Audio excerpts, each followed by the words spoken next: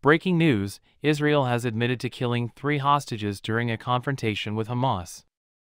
According to Israel's military, three hostages were fatally shot after the Israelis mistakenly perceived them as a danger. In a statement, the Israel Defense Forces claimed responsibility for the deaths of three Israeli hostages who were shot dead after the Israelis mistakenly viewed them as a threat during combat in Shijaya. Among those killed were Yotam Hayam, a member of Kibbutz Kfar Aza, and Samer Talalka, a member of Kibbutz Nir during the October 7th attack on Israel by Hamas.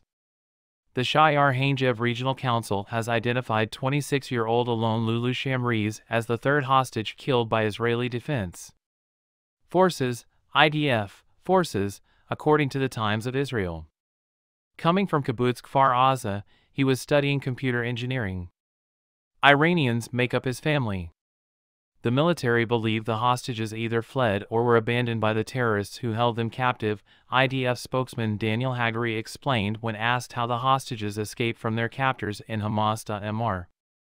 Hagari stated that immediate suspicion arose regarding the identity of the dead following the shooting and that the bodies were promptly sent to Israel for further examination.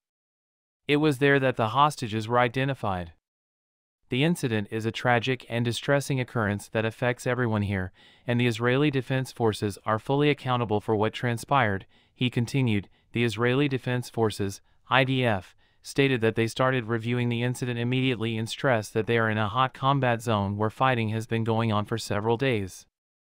All Israeli forces serving in the field have been apprised of the lessons learned from this incident. On the morning of the Hamas attack, Mr. Hayam, a 28-year-old drummer for the heavy metal band Persephore, was last seen in a video he sent to his mother.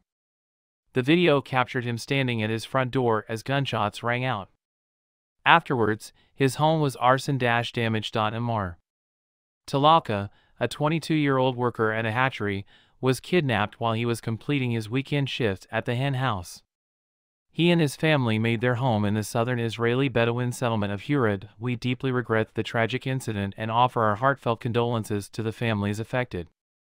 Our national mission is to find those who are missing and bring all the hostages home. A ground operation in the Gaza Strip resulted in the accidental deaths of three Israeli hostages, according to the Israeli military. Rear Admiral Daniel Hagari, the Army's chief spokesperson, stated that Israeli troops mistakenly believed the three were a threat and opened fire on them on Friday.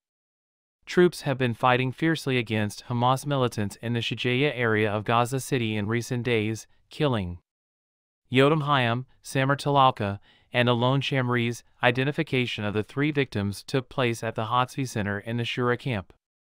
On October 7, militants from Hamas abducted Hayam and Shamriz from Kibbutz Kfar Aza, and on the same day, they abducted Talalka from Kibbutz Nir Am. According to Rear Admiral Hagari, it remains unclear whether the captives managed to escape or were left behind. His words carried the weight of heartfelt condolences and deep remorse from the Israel Defense Forces, IDF, to the families affected. The incident was immediately investigated by the IDF, he said.